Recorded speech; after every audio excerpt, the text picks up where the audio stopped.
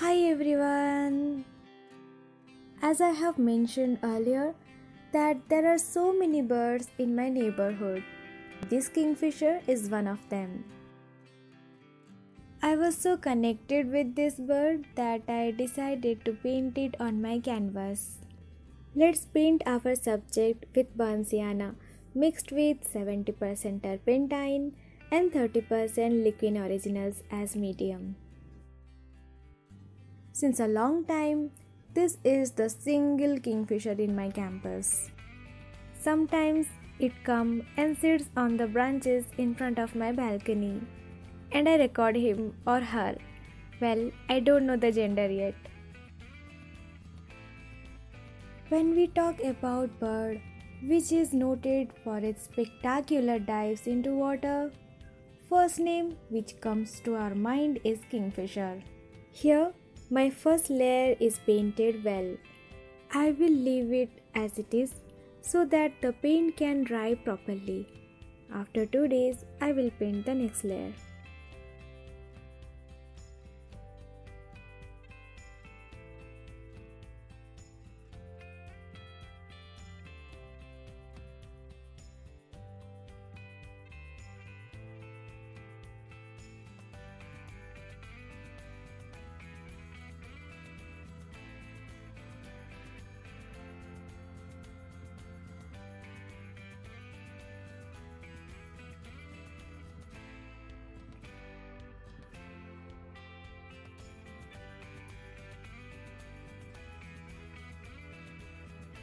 I want to give blurry effect so I am moving the brush in circular way.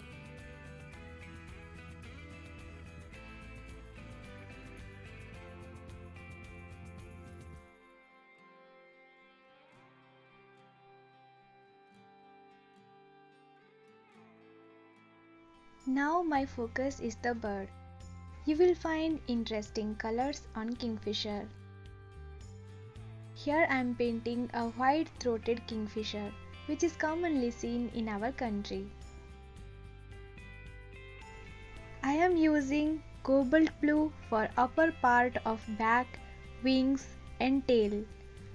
Sienna mixed with flake white for underpart. Prussian blue for some part of the wings. Flake white for throat and breast. Vermilion hue and flake white for beak.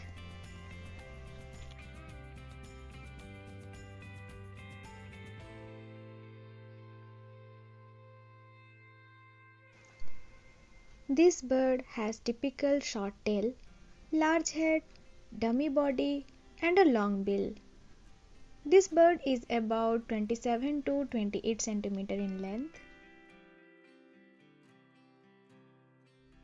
The white-throated kingfisher is a common species in a variety of habitats.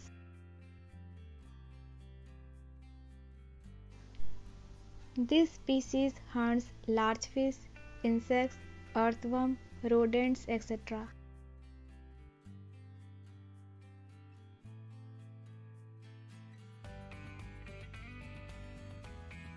Male kingfishers and female kingfishers are almost identical.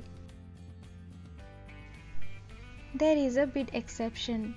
The lower part of the female's beak is orange in color with a black tip.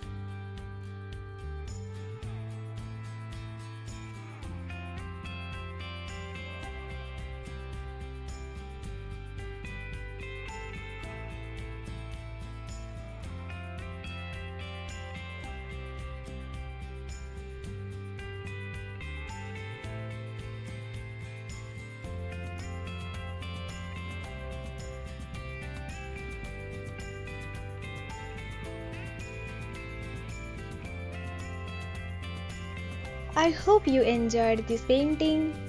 Thank you for watching my video.